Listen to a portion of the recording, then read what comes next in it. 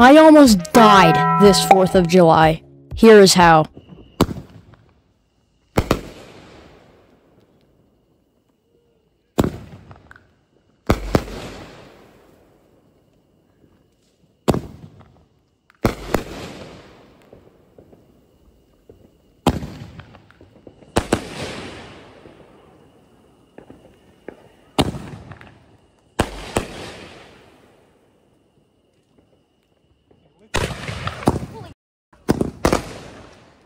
Yo, what the?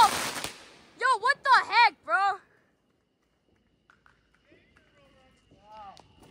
It just exploded.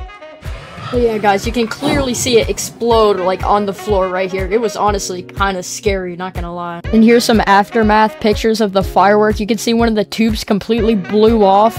And then we took it apart because we didn't want it blowing up in our face again. But uh, yeah, that's what it was called. Don't buy it. But anyways, guys, if you don't want me to do stupid stuff anymore, make sure to subscribe and peace.